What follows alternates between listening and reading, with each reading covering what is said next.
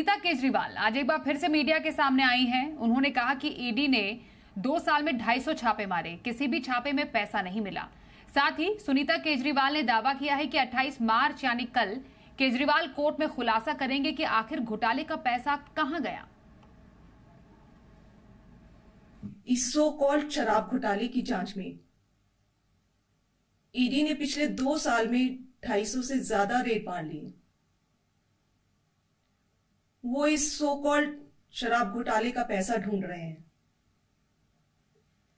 अभी तक किसी भी रेड में एक पैसा नहीं मिला। मनीष जी के यहाँ रेड मारी, संजय सिंह जी की यहाँ रेड मारी सत्येंद्र जैन जी की यहाँ रेड मारी, एक भी पैसा नहीं मिला। हमारे यहाँ रेड मारी, मात्र तिहत्तर हज़ार रुपए मिले। तो वो इस सो कॉल्ड शराब घोटाले का पैसा है कहाँ? अरविंद जी ने कहा है कि इसका खुलासा वे 28 मार्च को कोर्ट के सामने करेंगे।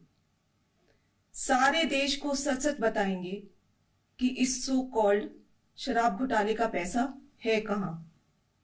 उसका सबूत भी देंगे।